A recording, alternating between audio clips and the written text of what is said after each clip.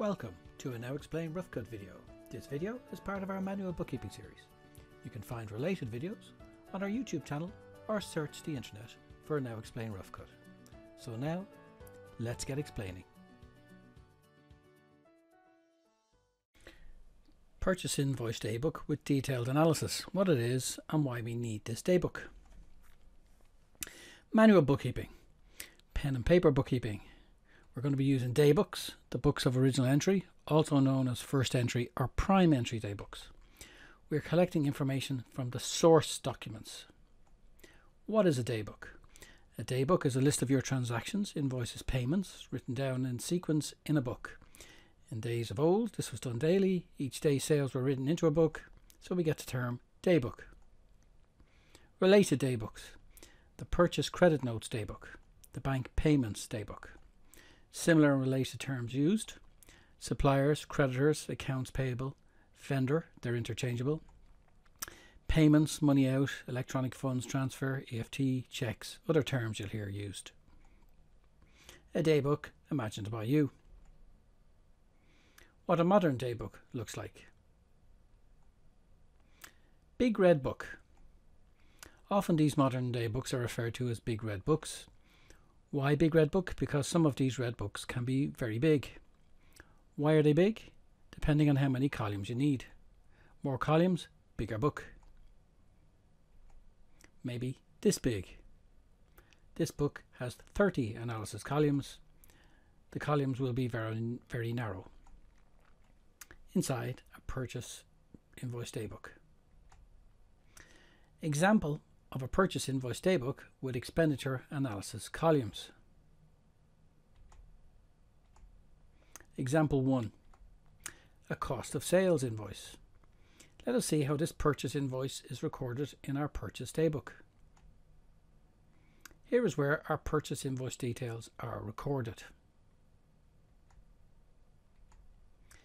Here is the purchase invoice with the daybook entry side by side you can see the information taken from the purchase invoice. The supplier name, the date of the invoice, the total value of the invoice, the cost of sales, being in this case red blocks, being analysed. Example 2. An expenditure invoice. Let us see how this purchase invoice is recorded in our purchase daybook.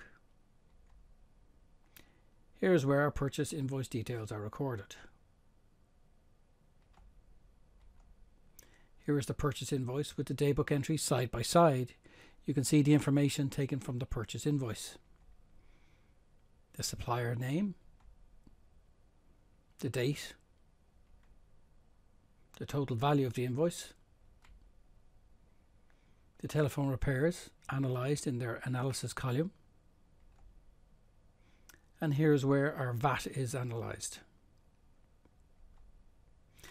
Explanation of the purchase daybook columns. The date. The date of the purchase invoice, the supplier, the name of the supplier who the items or service were purchased from, reference number, the index number, the internal number given to the invoices so it can be tracked. Yes, all these items should be on a purchase invoice.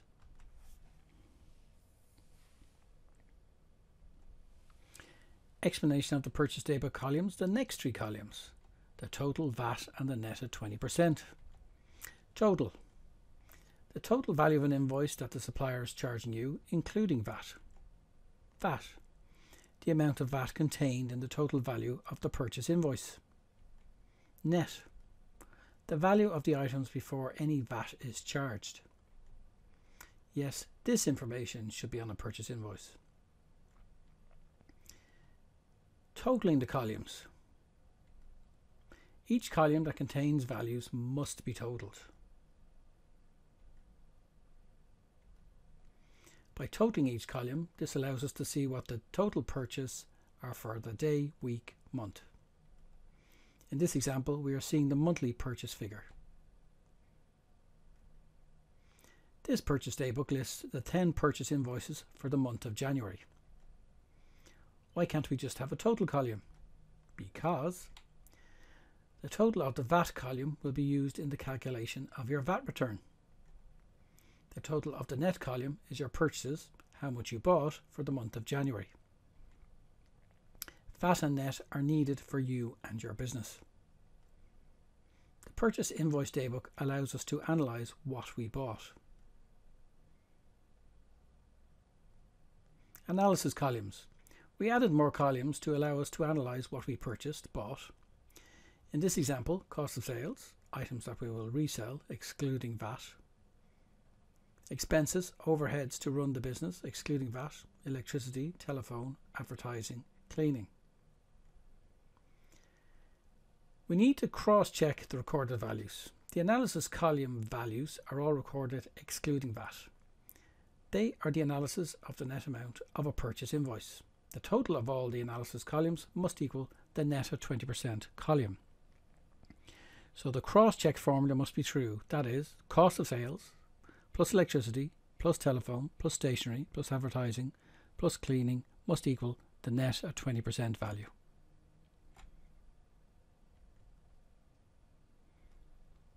The total value column is made up of the net value, the amount excluding VAT, plus the VAT amount calculated on the purchase invoice.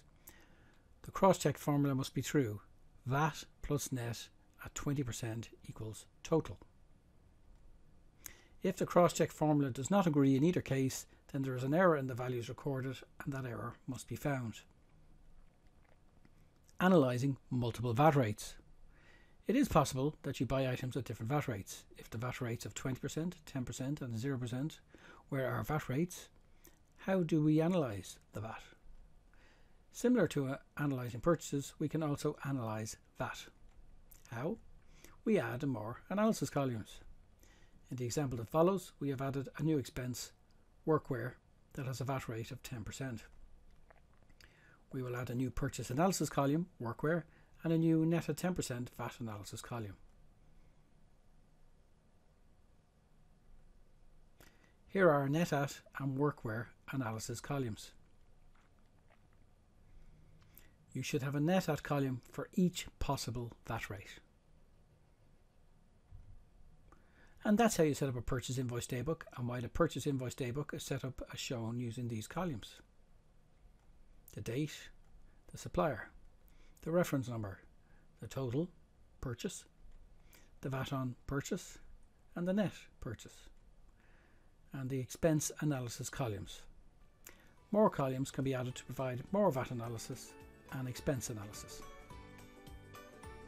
Thank you for watching.